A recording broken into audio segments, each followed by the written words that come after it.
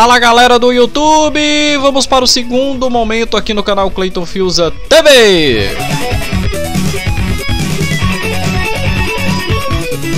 Pessoal, é o seguinte, tá rolando um assunto aí, um assunto bem interessante a respeito de uma descoberta ou uma descoberta, que ainda não sei, de uma cidade teoricamente perdida.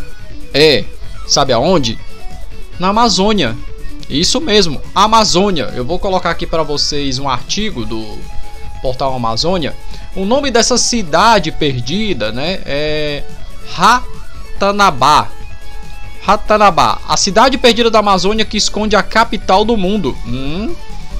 Segundo o portal Amazônia, matéria assinada por Karina Pinheiro, a teoria conta que a cidade futurista existiu há 450 milhões de anos interligaria o mundo por meio de túneis subterrâneos.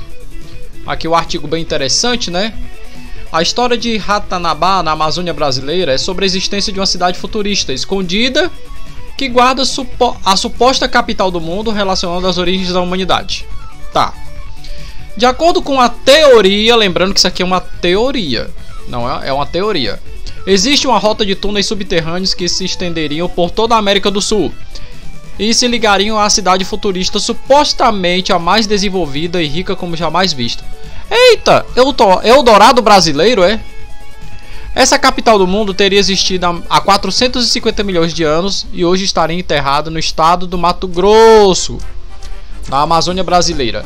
A teoria especifica que uma das entradas desses túneis estaria escondida dentro do Forte Príncipe da Beira, localizado no município de Costa Marques.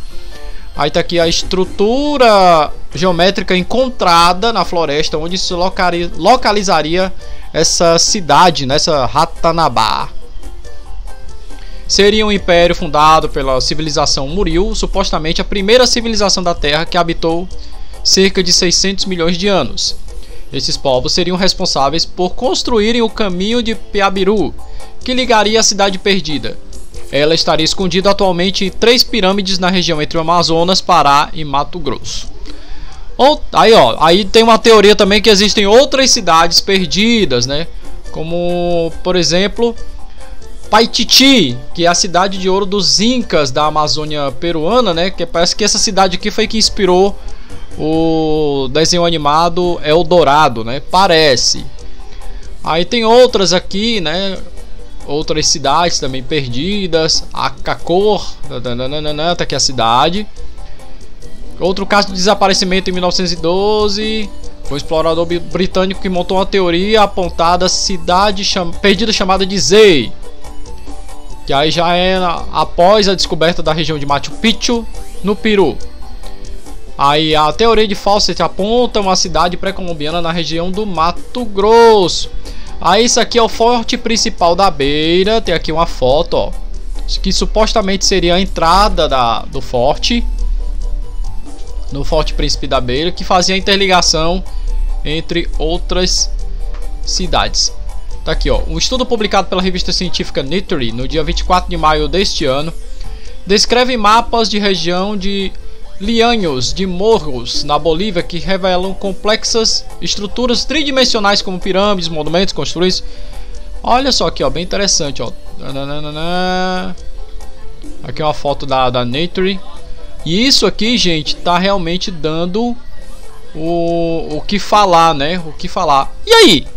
Vocês acham que realmente essa cidade antiga da, da região Amazon, da Amazônia, que teoricamente existiu há 450 anos, realmente existiu?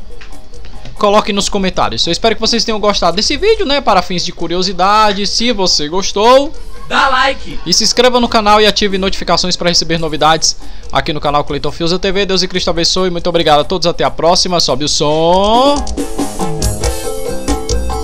Valeu, galera. Fui!